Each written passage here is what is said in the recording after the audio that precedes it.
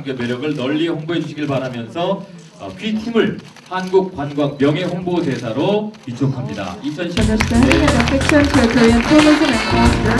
Please promote Korea's foreign tourism point. Hereby I'd like to appoint you as honorary ambassador. 네. 어, 왼쪽부터 한번 쭉 한번 보죠. 왼쪽, 먼저. 왼쪽.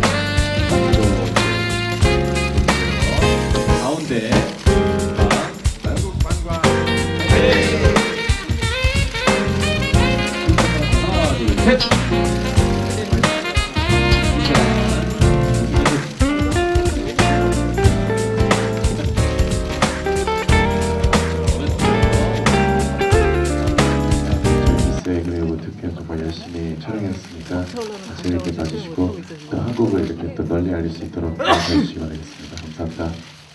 민영 양과 같이 경복궁에서 경복궁. 촬영을 했었어요. 근데 정말 많은 그 해외 관광객분들이 오셨더라고요. 그래서 어 저희가 촬영을 하다가 중간에 어 중단을 하고 그 다음 날 이어서 촬영을 하게 됐어요. 혹시나 또 관람에 방해가 될까봐 그래서 정말 많이 놀랐어요. 많은 분들이 이렇게 한국을 찾아주시는구나라는 거 좀 알게 됐습니다. 아, 그렇군요.